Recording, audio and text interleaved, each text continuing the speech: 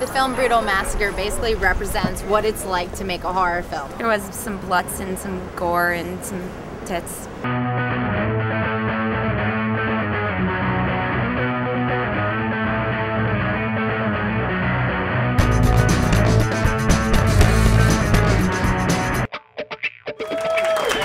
Thank you everyone for coming.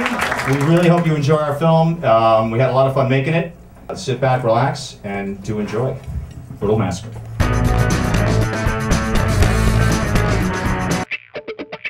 The movie is brilliant. It's really funny. Working with David Naughton was amazing. Mm-hmm. He really was. He he was such a kind, generous actor. I loved it. I thought it was so funny.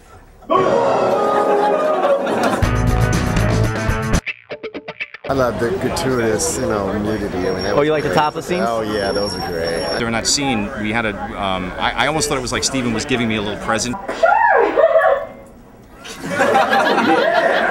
Poor Laura must have take ripped that shirt off maybe 15, 16 times.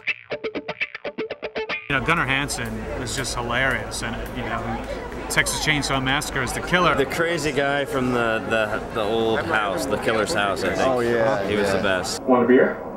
Oh, shit, yeah.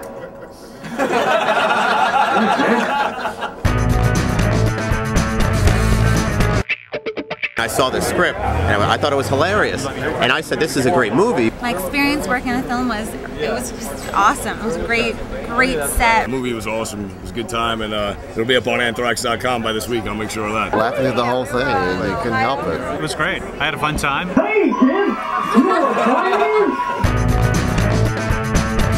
Judging by the response tonight, uh, I think people were getting a lot of the jokes and, you know, had a good time.